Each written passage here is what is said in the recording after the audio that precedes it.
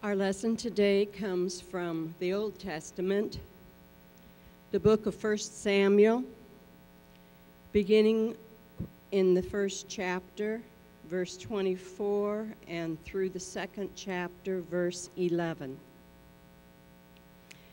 After he was weaned, she took the boy with her, young as he was, along with a three year old bull, an ephah of flour and skin of wine, and brought him to the house of the Lord at Shiloh. When they had slaughtered the bull, they brought the boy to Eli. And she said to him, As surely as you live, my Lord, I am the woman who stood here beside you praying to the Lord. I prayed for this child, and the Lord has granted me what I asked of him. So now I give him to the Lord for his whole life. He will be given over to the Lord, and he worshiped the Lord there. Then Hannah prayed and said, My heart rejoices in the Lord. In the Lord my horn is lifted high. My mouth boasts over my enemies, for I delight in your deliverance. There is no one holy like the Lord. There is no one besides you. There is no rock like our God. Do not keep talking so proudly, or let your mouth speak such arrogance, for the Lord is a God who knows, and by him deeds are weighed. The bows of the warriors are broken, but those who stumbled are armed with strength. Those who are full hire themselves out for food, but those who were hungry hunger no more. She who was barren has borne seven children but she who has had many sons pines away. The Lord brings death and makes alive. He brings down to the grave and raises up. The Lord sends poverty and wealth. He humbles and he exalts. He raises the poor from the dust and lifts the needy from the ash heap. He seats them with princes and has them inherit a throne of honor. For the foundations of the earth are the Lord's Upon them he has set the world. He will guard the feet of his saints, but the wicked will be silenced in darkness. It is not by strength that one prevails. Those who oppose the Lord will be shattered. He will thunder against them from heaven. The Lord will judge the ends of the earth. He will give strength to his king and exalt the horn of his anointed. Then Elkanah went home to Ramah but the boy ministered before the Lord under Eli the priest. Here ends the reading.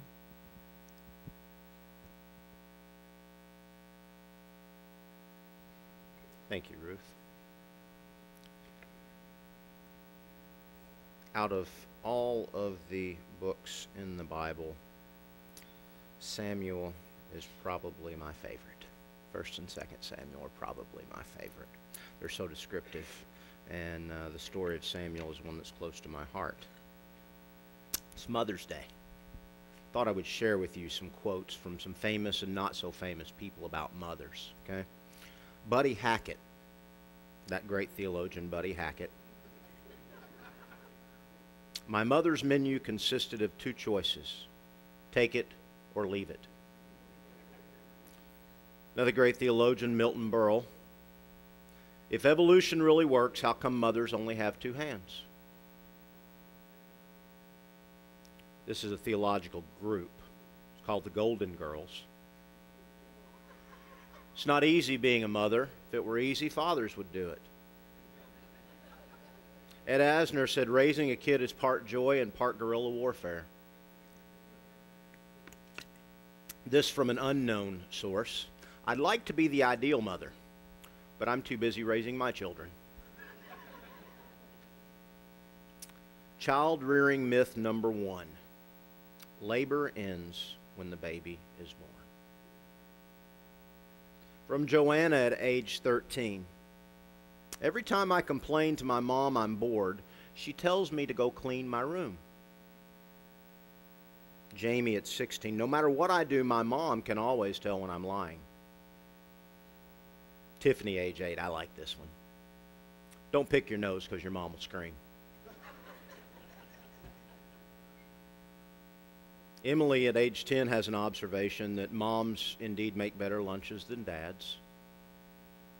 Ben at age 10 said, When your mom says try it, you'll like it. You probably won't. Leslie at age 12 is wise beyond her years.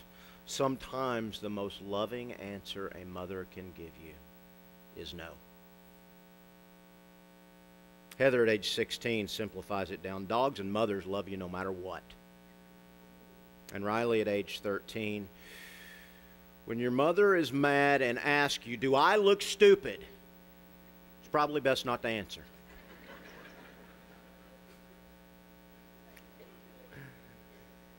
Father of our country, George Washington, said, My mother was the most beautiful woman I ever saw. All I am, I owe to my mother. I attribute all of my success to the moral, intellectual, and physical education I received from her. And Abraham Lincoln said, I remember my mother's prayers, and they've always followed me. They have clung to me all of my life. All that I am or hope to be, I owe to my angel mother. Pope Paul VI said, Every mother is like Moses. She does not enter the promised land. She prepares a world that she will not see. I think it's safe to say, I think I'm safe in saying this, that the one thing that every single one of us in this room have in common is we all had a mother. Right? I, th- I think I'm safe in saying that. Now, some of us are extremely blessed, right? We've had wonderful mothers, and they're still with us. And we get to talk to them frequently. Which, by the way, if you're in this category and you haven't talked to your mother this week, call your mom today. Call your mom more than once a week, by the way. She'd probably appreciate it. Some of us, we don't have our mothers around anymore. We wish, we wish that we could call and talk to our mothers. But we have wonderful memories, right? Some of us, some of us, well, we maybe got the short end of the stick our mothers left something to be desired. But we have a wonderful person in our life who's like a mother to us. And for that, we're thankful. Some of us were blessed with a mother who chose us, didn't give birth to us, but adopted us into her heart and into her home. Some in the room are obviously mothers, and no matter what age your children are, they're still on your heart, aren't they? My mother said she remembers her mom telling her, honey, they only spend moments on your feet, but they will spend a lifetime on your heart. Now, some of you here have the pleasure of being grandmothers, and you get to spoil your grandchildren rotten and then give them back. My mom said if she knew how much fun grandchildren were, she would have had them first. Some here are heartbroken because they have severed relationships with their children. Or worse, they've had to bury their children. The heartache of losing a child. Others here have gone through the pain of not being able to conceive a child for a season or maybe perhaps ever. Whatever category you fall into, Mother's Day is a glorious occasion. It's a wonderful day. I hope you will celebrate this day.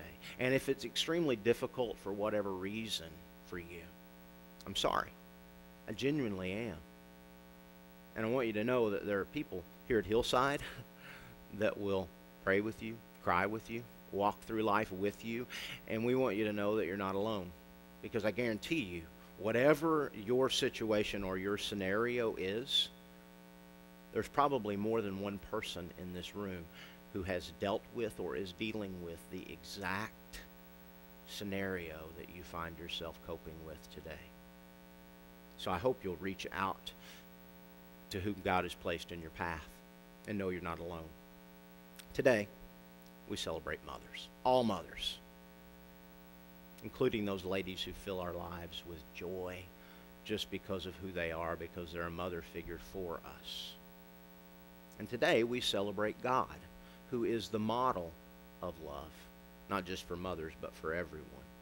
Now, there's a number of scriptures that speak about mothers and parenting and and proverbs on wise parents and all of that sort of stuff. And I'm no expert and didn't feel like giving women a, uh, a lesson in parenting because I probably would do a bad job of that anyway. So I chose Hannah, the mother of Samuel. Story of Hannah. Okay, main characters in this story. Elkanah was her husband. Hannah was his first wife. Now, in the Old Testament, because of the scenario of agriculture, working the land, needing children to sustain life, and then also because of death and, and certain things, and women couldn't own property, there were just certain rules. There would be more than one wife in a family. I'm not saying it's right, it's just the way it was. And so Hannah was the first wife. She was loved dearly. Peninnah we don't know her scenario, but she was Elkanah's second wife. Maybe she was the wife of his brother. And Jewish tradition would say if your brother passes away, you marry his wife and take care of his family so that his bloodline can continue on.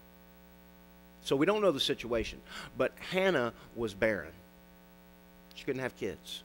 And Elkanah loved her. And Peninnah, she had borne Elkanah many children. And every year they would go to, to Shiloh to, the, to sacrifice to the Lord at Shiloh. And they would go to the temple and they would go to, to Eli the priest and they would sacrifice. And, and Elkanah would always, always take more to offer to God on behalf of Hannah and that part of his family than he did Peninnah because he loved her. And he said, Don't you know you're worth more to me than, than ten sons? Oh, how I love you. Hannah wanted to be a mother. She had grief and pain. And, and in her hour of need, she went to the temple and she was pouring her heart out before God. And the priest came in. He thought she was drunk because she was having a conversation with somebody who wasn't there. And she assured him she wasn't. She said, I've promised God that if he'll give me a son, I will return this son back to God. Well, Eli said, Your faith is great. God will grant your request. So, sometime later, she bore a son and she named him Samuel. She didn't go back to Shiloh for a few years until the child was weaned. So I'm guessing it could have been anywhere from two to five, depending on, on how they did things in those days. Now, how many of you all remember, as mothers, the first day that you dropped your child off at daycare?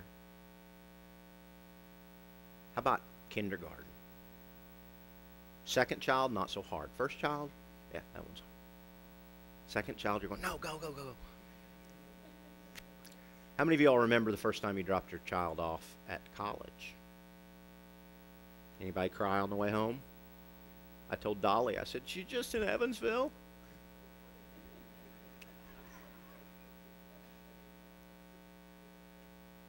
That was hard sending them out to where they're no longer in your nest, whether it just be at daycare for the day or at kindergarten for the school year or at college. Imagine taking your three to five year old son to the temple where you're going to leave him to serve God. Imagine the love that Hannah must have had for her son, and imagine the great love that she must have had for God taking great faith. So Hannah leaves Samuel at the temple. And she would come back every year, and it says she would make him a little robe or uh, a little priestly outfit like the priest had. And she would bring it back before him. And Eli would bless Elkanah and her. And he told them, he said, God's going to give you more children. Your faith is great. And so she would go on to have three more sons and, and two daughters. And Hannah's story ends here. At least her recorded story does. But the story of Samuel is just beginning. Because the Lord called Samuel to serve him as a priest, as a prophet, and as a judge. He was Israel's last great judge. And Samuel was the, the one, the prophet, that anointed the first king of Israel, Saul, and then would anoint the second king of Israel, David who God promised, you will, someone in your line will sit on the throne forever. He wasn't talking about David's sons. He was talking about the king. His son would come from that line. God used Samuel to influence an entire nation of people. He's still using Samuel. I'm preaching on him today. But Samuel's faith was a gift from his mother. Samuel's faith was a gift from his mother and was a result of his mother's prayers. I like Pope Paul VI quote the best, I think, out of all those I read. Every mother's like Moses. She never enters the promised land, and she prepares a world that she will not see. Hannah was such an influential person on the nation of Israel that our king, Jesus, our Savior, his mother, Mary, modeled her prayer that's recorded in Luke after the one that Ruth read for you today. Hannah's prayer was an expression of her relationship with God and the realities of life. Hannah's prayer, you will admit, if you read it, is real. It's pretty raw. I mean, she poured out her heart before God. She didn't hold anything back. She shared her pain, her frustrations, her anger, her bitterness. She shared her torment and her weakness. She claimed her, her joy and her triumph, hope, promise, provision, strength. Hannah's prayers are a reflection of life, aren't they? The highs, the lows, the peaks, and the valleys. I mean, if our lives were a line graph, think back to your early level math. Some of you are dealing with fifth grade math and graphs right now, right? But think of the line graph. Do you think that your life, if represented by a line, would just go neatly on a straight trajectory up from birth to death? Just a pleasant little line. Maybe in fantasy world, right? Because most of our lives, the trajectory of our life looks a lot more jagged, doesn't it? It's up, it's down, it's over. Some of us, it's backwards and forwards and up. And it's not neat at all, is it? Life's hard. I don't want to look at things from Pollyanna's rose colored glasses sort of view and pretend that, that, well, things are not as bad as they seem, or, or tell you, you know, if you'll just pray more and have greater faith, everything will be all right in the morning. Because we're never promised a life without pain, are we? We are promised that God will be present with us, and God's grace provides strength. And our lives, much like the Christian faith, seem to be a paradox, don't they? One day we're celebrating success, awards, game winning hits, dance recitals, kids singing at church. The next day we're nursing sick kids or ailing parents. We're leaving a hospital or saying goodbye to one we love. One day we're camping and playing at the beach, right? Or having a mother daughter sleepover, while another day is drudgery bad grades, rebellion. Except for my kids. None of my kids are rebellious.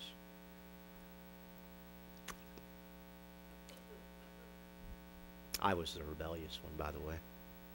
Life's not all roses and daisies, is it?